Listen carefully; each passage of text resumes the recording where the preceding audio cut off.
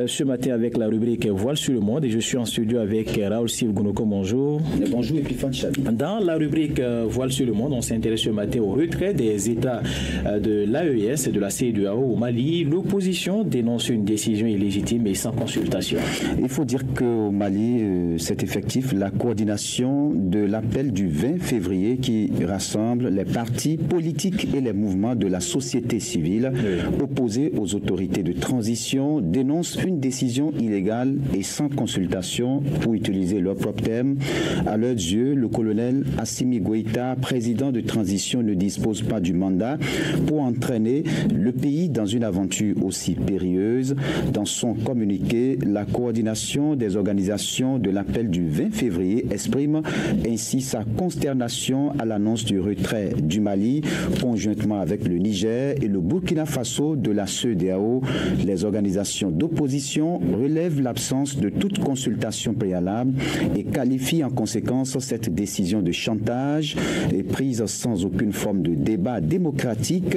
Elle traduit, selon eux, le manque de considération des poutistes au pouvoir envers le peuple malien. Les, nombreuses, les nombreux partis politiques pardon, et organisations de la société civile membres de cette plateforme estiment également que le retrait de la CEDEAO va, contrairement au discours officiel, à l'encontre des intérêts du Mali et qu'il ne correspond en aucun cas aux missions assignées aux autorités de transition. L'opposition malienne, vous nous dites, craint que la junte ne se maintienne au pouvoir. Oui, une nouvelle fois, les opposants rappellent les autorités maliennes de transition à leur propre engagement, notamment celui d'organiser des élections et de revenir à l'ordre constitutionnel.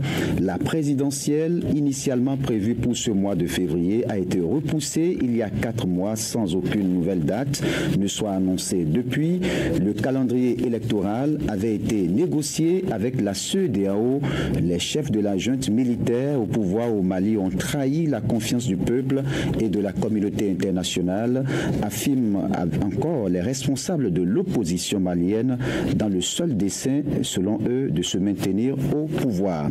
Le communiqué déplore et explique enfin le silence qui a globalement suivi cette annonce de taille par la peur, la menace, des arrestations arbitraires ou des enlèvements de personnes organisées au sommet des services de la transition. Et justement, parlant de la CEDEAO, vous nous dites euh, qu'elle poursuit ses négociations avec les pays qui se sont retirés. Oui, la CEDEAO mène actuellement des consultations en interne et auprès du Mali, du Niger et du Burkina Faso après leur annonce dimanche 28 janvier de sortir de l'organisation. Cette décision continue de soulever de nombreuses interrogations et quant aux conséquences pour les États et les populations. Elle soulève aussi une vague d'indignation chez les opposants au régime poutiste. Depuis l'annonce des trois capitales, la CEDEAO a fait savoir qu'elle envisageait une solution négociée, on l'a dit ici, pour ce retrait qui devrait prendre une année selon les tests, mais que les trois pays sahéliens veulent effectuer sans délai. Merci à vous, Raoul Steve. C'était la rubrique voile sur le monde, mesdames et messieurs. On va enchaîner donc avec la deuxième lecture des canards et parvenu à la rédaction ce matin. Et c'est Amel Lancoutin qui s'y colle, qui s'installe progressivement.